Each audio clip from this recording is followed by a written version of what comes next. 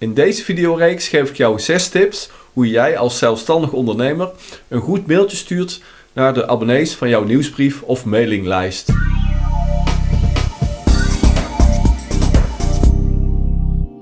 Tip 5 luidt: mail zonder opmaak. Het moet geen bonte kermis worden. Het moet gewoon heel basic zijn.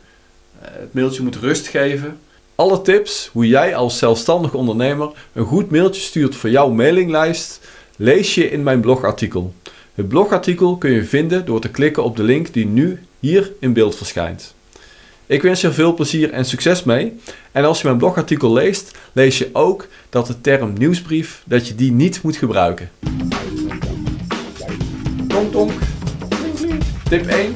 Behandel maar één onderwerp. Tip 1. Behandel maar één onderwerp. Het verschijnt. Hier, hier verschijnt hij. Hierin. Tonk tonk. En geef aan wat. Tip 4. Tip 3. Zet een call to action in je mailing.